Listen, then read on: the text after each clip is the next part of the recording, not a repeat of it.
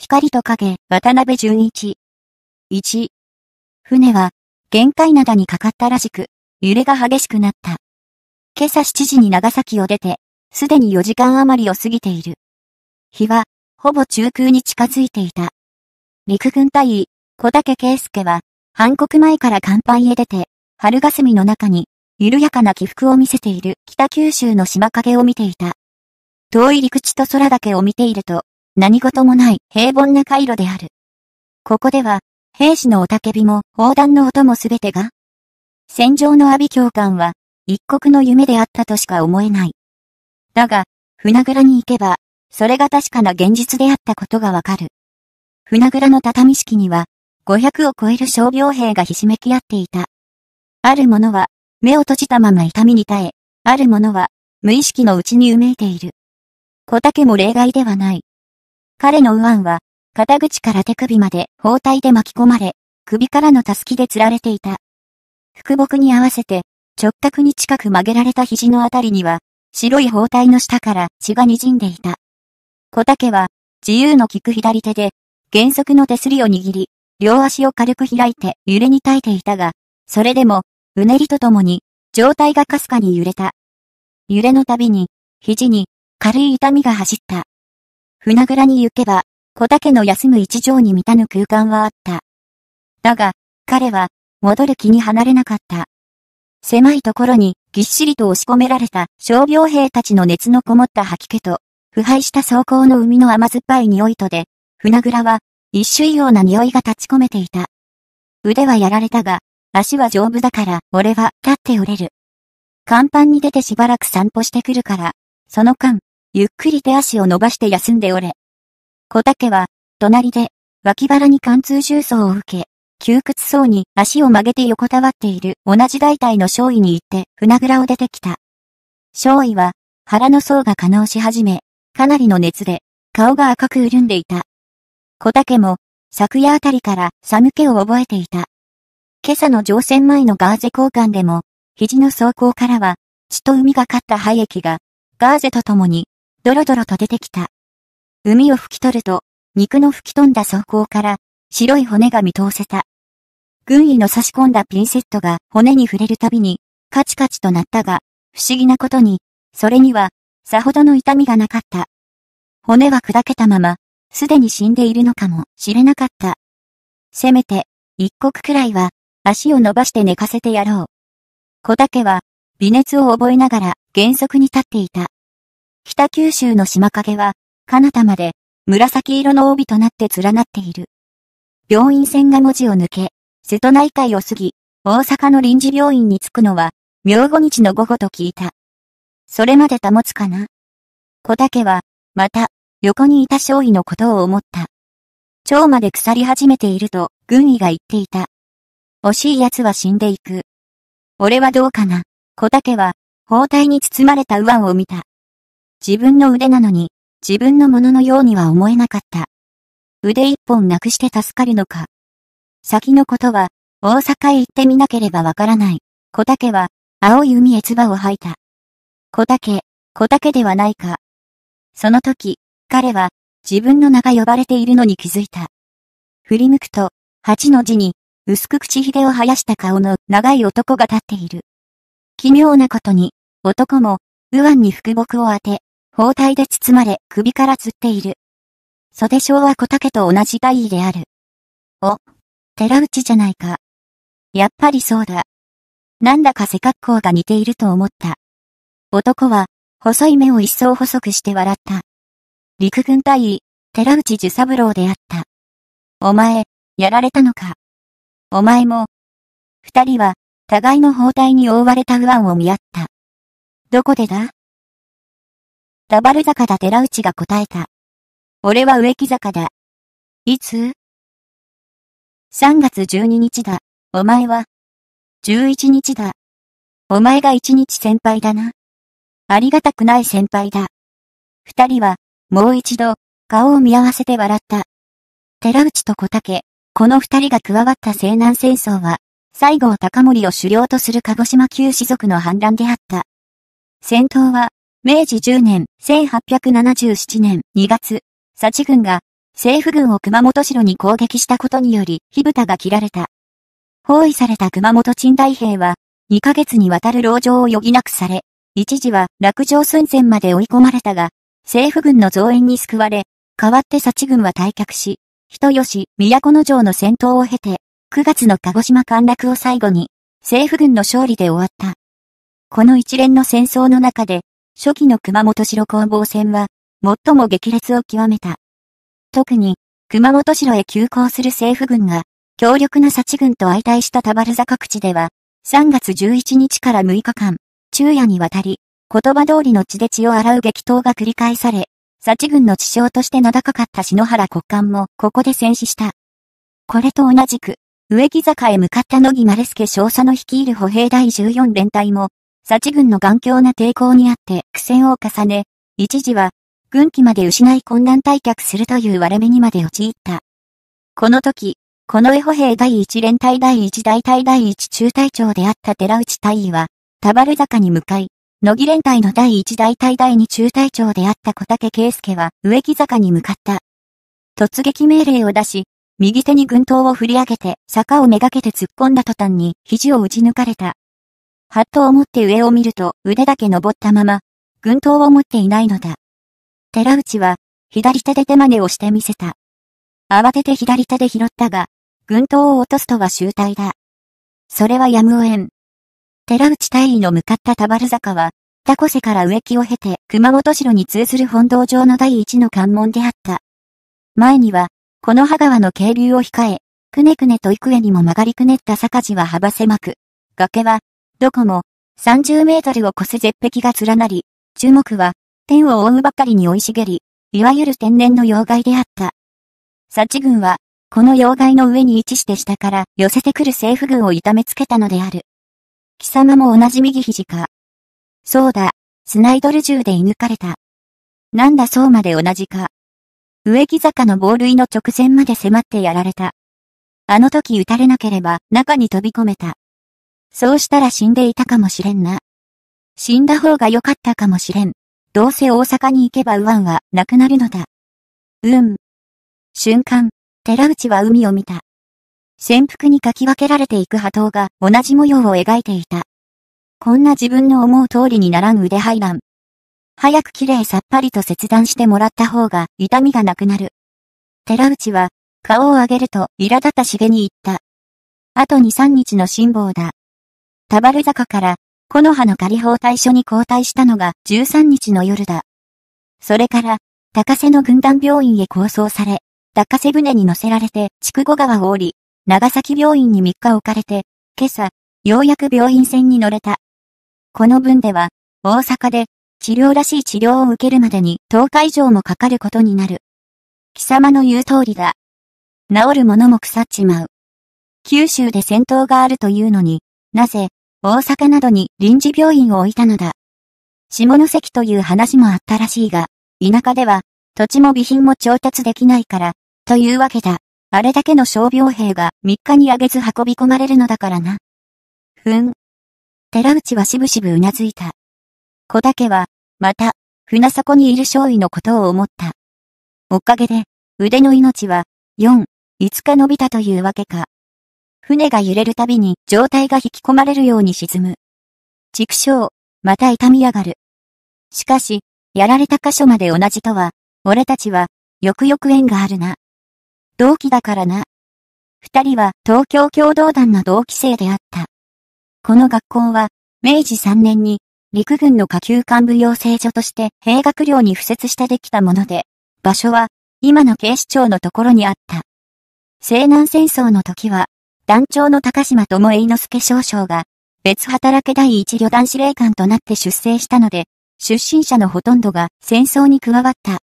後に、これは千葉県国府大に移ったが、ここから士官学校に進んだ中に、多くの逸材が輩出した。総理大臣田中義一、朝鮮総督山梨半蔵、関東軍司令武藤信義、参謀総長河合美沙等々、数え上げるとキリがない。二人が卒業した明治三年卒の共同団には、50名誉の同期生がいたが、その中で、小竹は、秀才の誉れ高く、学科でも平日でも抜きんでた存在であった。傷が治ったら、我々だけで片腕隊でも作ろうか。差し当たり、お前が、隊長で俺が副隊長だな。寺内が、気真面目な顔で言った。どうせ、命の惜しくない不具者の集まりだ。これは強くなるぞ。二人は、潮風に向かって胸を張りながら、ことさらに元気づけるように大声で笑った。二、翌々日の午後、船は無事大阪に着いた。傷病兵たちは、農夫の担ぐ戸板に乗せられて、大阪城内の臨時病院へ陸送された。この大阪陸軍臨時病院は、以前からあった大阪鎮大横の陸軍病院に加え、周囲に、さらに、12棟の病室を急増して合わせたもので、再生時には、8500人からの傷病兵を収容したと言われている。臨時病院の院長は、後に軍医総監となった石黒忠則で、外科部長は佐藤進であった。この佐藤進という人は、桜順天堂で有名な順天堂医院の後継者で、日本で初めてドイツに留学し、正式にドイツ医学を収めた人であり、その外科的技量は、当時並ぶものないと言われていた人であった。彼は、自分が養子となった順天堂医院に勤めていたが、西南戦争が始まり、大阪臨時病院に熟練した外科医が不足していると聞くと、自ら、医院を一時捨てて陸軍病院に志願したほどの熱血感であった。陸軍省では、彼のこの義勇暴行の精神を認め、直ちに陸軍軍医官とし、臨時病院副院長に任命したのである。臨時病院に入院した寺内、小竹の二人の病室は、東二番病棟で同室人は6人であった。いずれも、少尉から大尉までの将校で、兵隊の大部屋よりはいくらか小綺麗であった。二人とも貫通重層による右上腕肘関節上部の粉砕骨折で、共に層は可能して、周りは赤く腫れ上がり、走行からは、青い花汁のような海が流れ出ていた。腹木を外すと、腕は、肩から、力なく垂れ下り、他の手で持ち上げると、肘で曲がった上に、さらに、その4、5センチ上の骨折部でも曲がるという奇妙な形を呈する始末だった。大阪に着いた3日目の午後に、二人は、続けて手術を受けることになった。二例とも上腕の半ばから切断することに、軍医たちの間で異論はなかった。どちらから先にしますか？担当の河村軍医は、その日の昼休み、医局で佐藤に尋ねた。二人とも同じだから、どちらからでもいいが。つぶやきながら、佐藤は、ふと、目の前のカルテを見た。カルテは、小竹、寺内の順に重ねられていた。小竹大尉、寺内大尉の順でいいだろう。承知しました。答えると、河村軍医は、手術器具の準備に医局を出た。貫通重層による上腕骨の粉砕骨折といっても、現在では切断ということはまずありえない。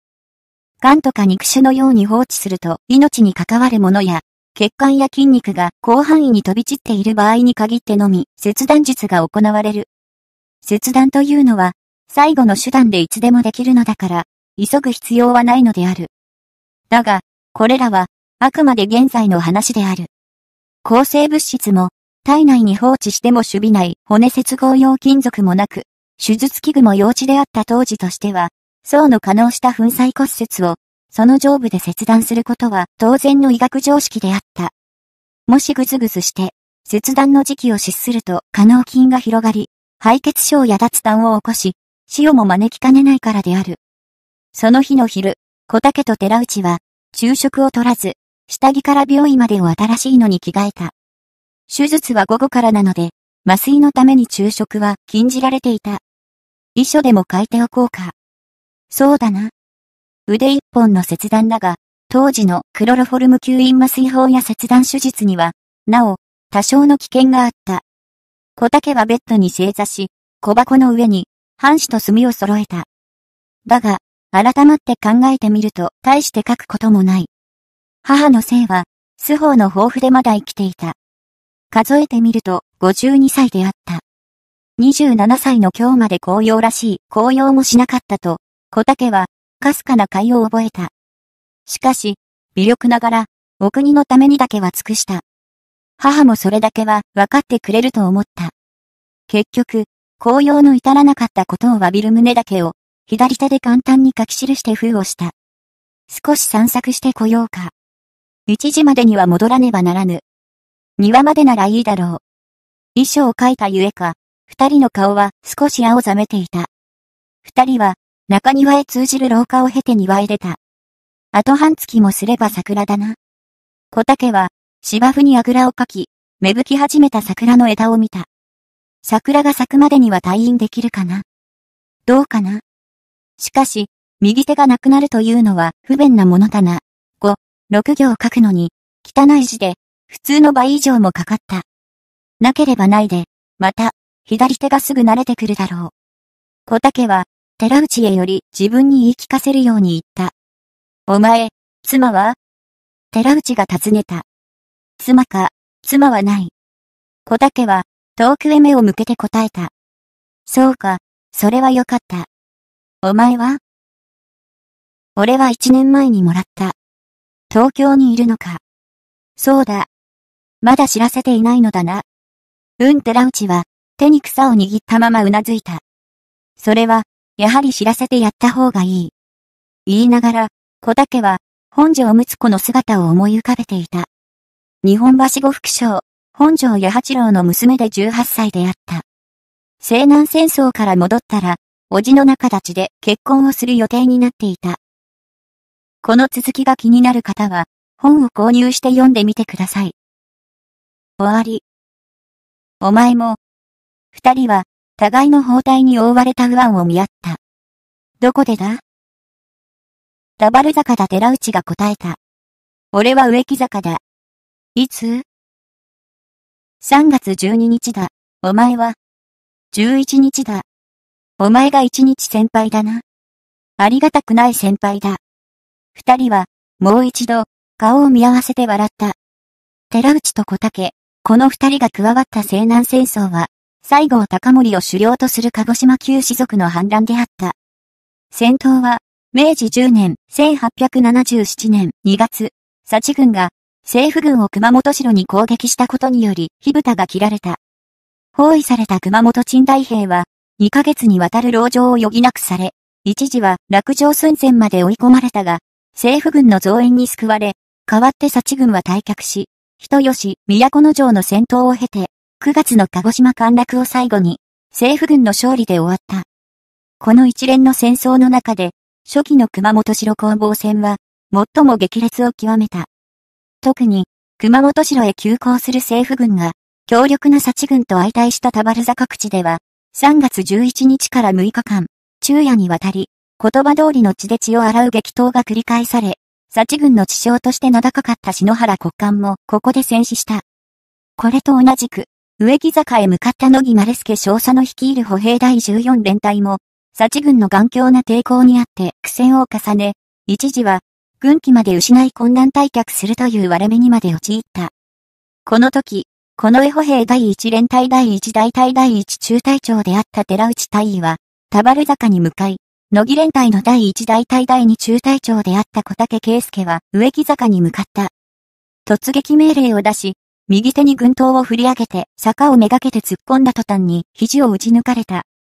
ハットを持って上を見ると腕だけ登ったまま、軍刀を持っていないのだ。寺、寺内はしぶしぶうなずいた。小竹は、また、船底にいる少尉のことを思った。おかげで、腕の命は、4、5日伸びたというわけか。船が揺れるたびに状態が引き込まれるように沈む。畜生、また痛み上がる。しかし、やられた箇所まで同じとは、俺たちは、よくよく縁があるな。同期だからな。二人は東京共同団の同期生であった。この学校は、明治三年に、陸軍の下級幹部養成所として兵学寮に付設してできたもので、場所は、今の警視庁のところにあった。西南戦争の時は、団長の高島智栄之助少将が、別働け第一旅団司令官となって出征したので、出身者のほとんどが戦争に加わった。後に、これは千葉県国府大に移ったが、ここから士官学校に進んだ中に、多くの逸材が輩出した。総理大臣田中義一、朝鮮総督山梨半蔵、関東軍司令武藤信義、参謀総長河合美沙等々、数え上げるとキリがない。二人が卒業した明治三年卒の共同団には、50名誉の同期生がいたが、その中で、小竹は、秀才の誉れ高く、学科でも平日でも抜きんでた存在であった。傷が治ったら、我々だけで片腕隊でも作ろうか。差し当たり、お前が、隊長で俺が副隊長だな。寺内が、気真面目な顔で言った。どうせ、命の惜しくない不具者の集まりだ。これは強くなるぞ。二人は、潮風に向かって胸を張りながら、ことさらに元気づけるように大声で笑った。二、翌々日の午後、船は無事大阪に着いた。傷病兵たちは、農夫の担ぐ戸板に乗せられて、大阪城内の臨時病院へ陸送された。この大阪陸軍臨時病院は、以前からあった大阪鎮大横の陸軍病院に加え、周囲に、さらに、12棟の病室を聞き借りとかけ、渡辺淳一。1。船は、限界灘にかかったらしく、揺れが激しくなった。今朝7時に長崎を出て、すでに4時間余りを過ぎている。日は、ほぼ中空に近づいていた。陸軍隊員、小竹圭介は、韓国前から甲板へ出て、春霞の中に、緩やかな起伏を見せている北九州の島影を見ていた。遠い陸地と空だけを見ていると、何事もない平凡な回路である。ここでは、兵士のおたけびも、砲弾の音もすべてが、戦場の阿鼻教官は、一国の夢であったとしか思えない。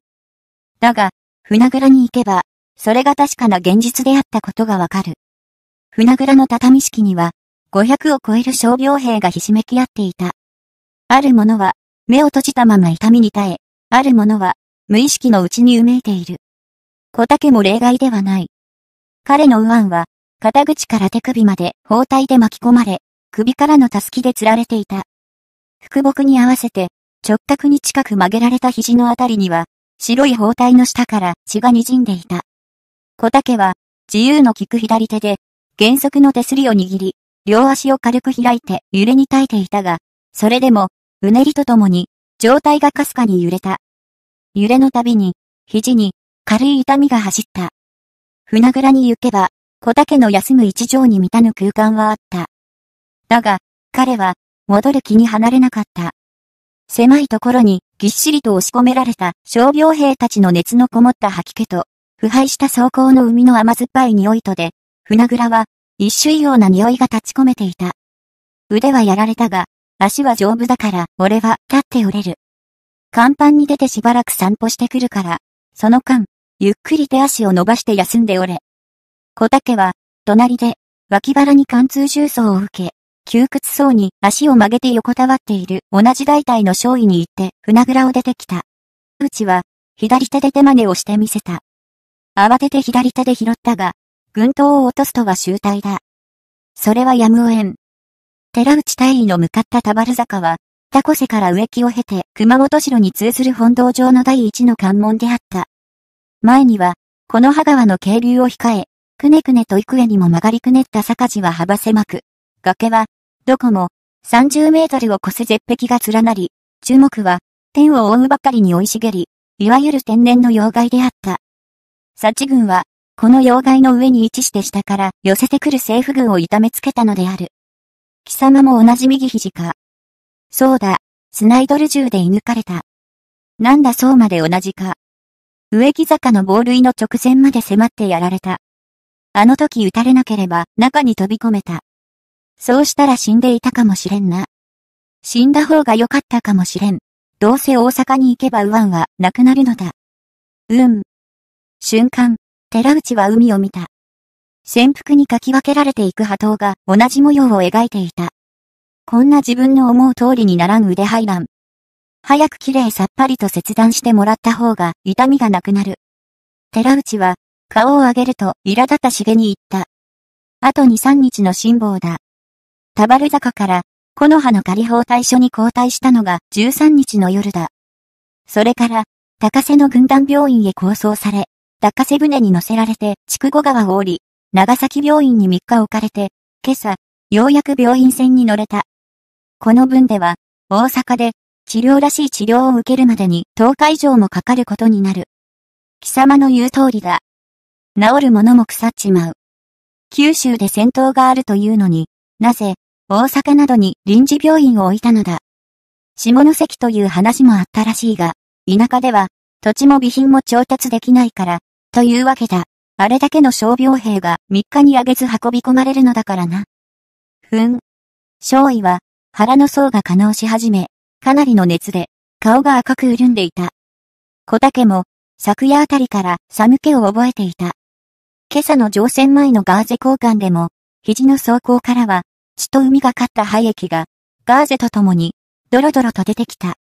海を拭き取ると肉の吹き飛んだ走行から白い骨が見通せた。軍医の差し込んだピンセットが骨に触れるたびにカチカチとなったが、不思議なことに、それにはさほどの痛みがなかった。骨は砕けたまま、すでに死んでいるのかもしれなかった。せめて、一刻くらいは、足を伸ばして寝かせてやろう。小竹は、微熱を覚えながら原則に立っていた。北九州の島影は、彼方まで、紫色の帯となって連なっている。病院線が文字を抜け、瀬戸内海を過ぎ、大阪の臨時病院に着くのは、明後日の午後と聞いた。それまで保つかな？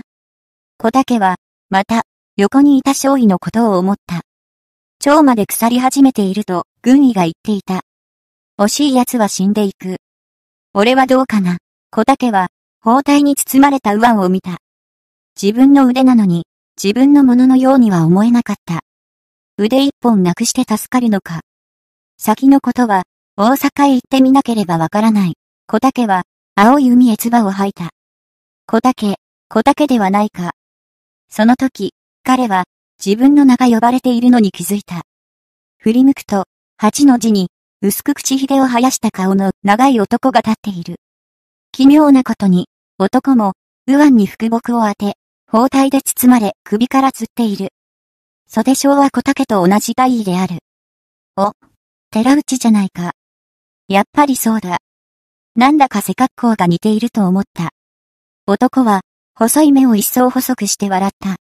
陸軍隊員、寺内寿三郎であった。お前、やられたのか。